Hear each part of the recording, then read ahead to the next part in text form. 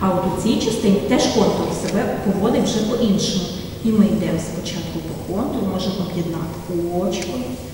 Наступна лінія теж повторила.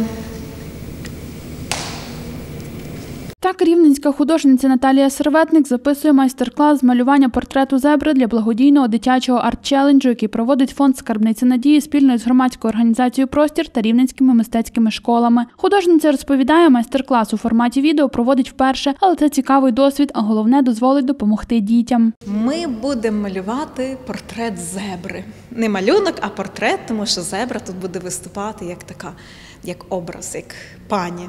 От. Чому зебра? Вона дуже контрастна, дуже красива, супер виглядає в інтер'єрі, і це досить легко. Мені здається, що я зумію пояснити, так що може намалювати кожен і старий, і малий, і з досвідом, і без досвіду. Арт-челендж проводитимуть у форматі онлайн через соцмережу Telegram з 10 по 16 травня. Зареєструватися на участь у марафоні можна, заповнивши онлайн-анкету за посиланням, яке ви бачите на екрані, та сплативши благодійну пожертву на рахунок благодійного фонду Скарбниця надії. Наразі тривають відеозаписи майстер-класів та реєстрація учасників. Діти реєструються, батьки вносять невеличку суму, е, це від 150 гривень на рахунок благодійного фонду Скарбниця надії.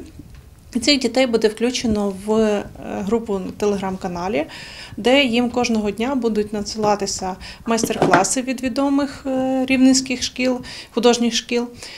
І будуть даватися завдання. Діти виконують ці завдання протягом семи днів, і за рез- результатами цього челенджу буде обраний один малюнок, який буде намальований на в палаті в онковідділенні дитячому. Загалом буде сім відеоуроків. Щодня учасники отримуватимуть по одному відео із покроковою інструкцією створення малюнка. Виконані роботи вони зможуть відправляти у той самий чат або сторінку у Фейсбук. Майстер-класи будуть у різних техніках, виконані за допомогою різного художнього приладдя. Додавати учасників у закритий телеграм-канал буде спеціальний чат-бот. Майстер-класи художники обирають самостійно, які саме вони бажають висвітлити, показати, можливо, якісь креативні цікаві ідеї, які можна втілити через Art Challenge. Створюють наразі чат-бот для додавання учасників в телеграм-канал, де вони зможуть підтвердити свою реєстрацію за благодійним внеском. Це перша взаємодія простору з благодійним фондом саме у такому форматі. Але завдяки волонтерам та усім, хто долучився, вже другий день записуються відеомайстер-класи та триває підготовка до старту челенджу. Оскільки простір є платформою взаємодій,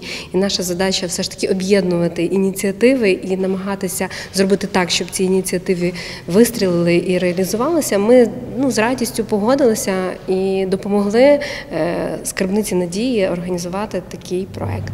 Запису майстер-класів залучали волонтерів. Діана Білик сьогодні виступає в ролі відеооператора та монтажера. Запис ведеться на телефон зі штативу, який зробили із підручних засобів. Дівчина розповідає, допомога у підготовці челенджу є для неї своєрідною практикою, адже навчається на режисера. Це буде така легенька музичка, так щоб просто розбавити цей процес. Тому що ну завжди є якийсь лишній шум, десь там хтось пішов, десь ступив.